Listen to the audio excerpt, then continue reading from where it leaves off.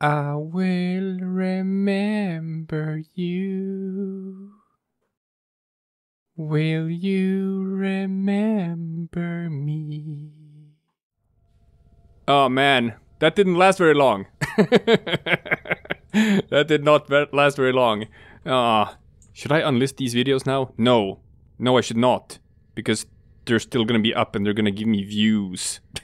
no, okay. So, uh, a new fix came out, new hot fix with uh, some news to cover, and among those news, obviously sneaking that by in the in the uh, in the bug fix section, uh, Tesla Limbo and Banish Vauban, the interaction between Tesla Nervos and the Cataclysm, super hot fixed, super dead, which I am 100% not surprised by. Um, as, as soon as you dis- I discovered that it could be reverse engineered and you could just put that on Vauban instead, I figured it's just a matter of minutes before they hotfix that. Um, yeah, but I'm not. I'm not mad. I'm super not mad because this is this was 100% a bug. This was 100% not an intended interaction. Um, and I, I knew. I knew it was just a matter of time. I was just curious if it was going to be like low priority or high priority. Well apparently that that shit was high priority. And they got it they got it snip snapped anyway moving on moving on. Like i'm still gonna like experiment with Helminth system. I'm gonna find new weird stuff to make videos about.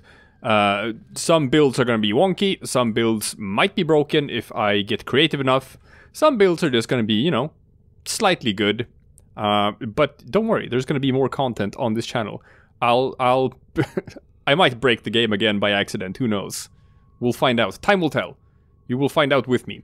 Anyway, up to the next of the, up to the next, bleh, up to the rest of the news, because there is uh, some news. Uh, there is a new Prime Vault well, new and new. Let's see if they have it in the market yet. Uh, uh, um. Nope, nope, not in the market yet, but it's gonna be there in like a couple of hours, maybe. Um, Ember Prime and Frost Prime have been unvaulted. You can now farm for them. And with that, they have. I mean, they've been unvaulted. With that, they have chucked back into the vault uh, Nova Prime and Trinity Prime. Uh, so you can no longer farm for those. So if you go to your relics tab and look for, for example, for your, say, your Nova Prime relics, and check on the tab, yep, it's vaulted. It's vaulted. So you can no longer farm for these relics. Now you can instead farm for uh, Ember and Frost. I'm gonna make a, a, separate video just talking a bit more about that because that's something people are gonna be searching specifically for. Uh, another big change. Oh, people are gonna love this one. People are gonna love this one. Hey, guess what? We can do more Helminth experimentation now. Because check it out. Check it out. The bile section. They have... Shaboom! They've added bile uh, resources anti-serum injector fragment, you know, that you just get as an aside while you're farming for Nidus. Now you can get bile with that. Javlok capacitors that become completely useless uh, as soon as you have built yourself a Javlok. They have no other use. You can now chuck those into your Helminth. And probably the most important one, nav coordinates. Nav coordinates can now be used as a bile resource. People have a ton of those. Um, they used to have a use in the game. You use them to craft uh, Orokin Derelict keys to access Orokin Derelict missions. Uh, now, Orokin Derelict uh, tiles no longer keys to access them, and they're open to public matchmaking, which means now nav coordinates have no function in the game. So now you can chuck those into the Helminth unless you sold them all for credits. What do I know? Maybe you did. Uh, if you didn't sell your nav coordinates, now you have a good use for them. So Bile is fixed. bile is no longer a problem, which opens up a whole lot of experimentation. People are going to be able to have a lot more fun with the Helminth now because they're not going to feel trapped by the bile costs holding them back. They've also tweaked uh, some of the other resources, specifically the railjack resources. They are uh, way cheaper than they used to be. You see, this used to be like, I don't know if it was 15,000 or 12,000. There's now 4,000 for Copernics. I think the biggest ones are Fresnels. They used to cost a thousand Fresnels for one chuck into the Helminth. That's been reduced to 150. That is an 85% dam uh, uh, cost reduction. Very nice. I think the biggest cost reduction is Trachons. Trachons used to cost 10,000 to chuck into the Helminth once.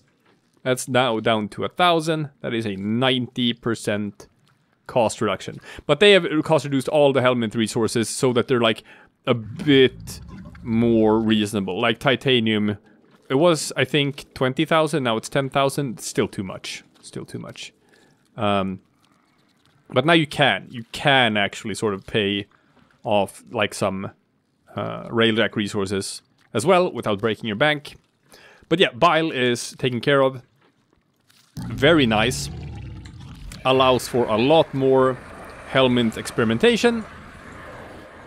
So go ahead and start chucking some uh, stuff into the Helminth. They also said that like people who qualify for it, people who like have a rail jack and have access to the Helminth system stuff like that, we're supposed to get um, an inbox message with a bunch of railjack resources to sort of compensate for the costs uh, up until this point, I think. I, I don't know. I have to read up a bit closer on that because I have not gotten such an inbox message yet.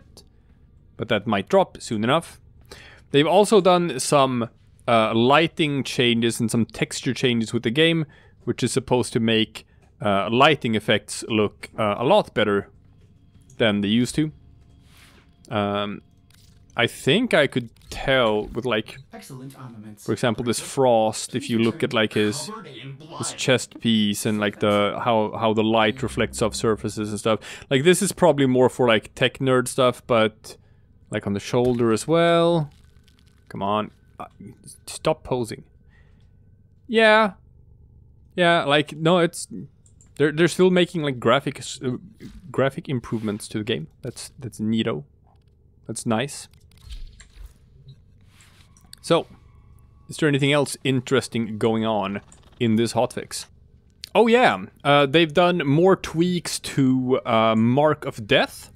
It got nerfed before. Now they are uh, reverting some of that, or not reverting, rather just tweaking the numbers.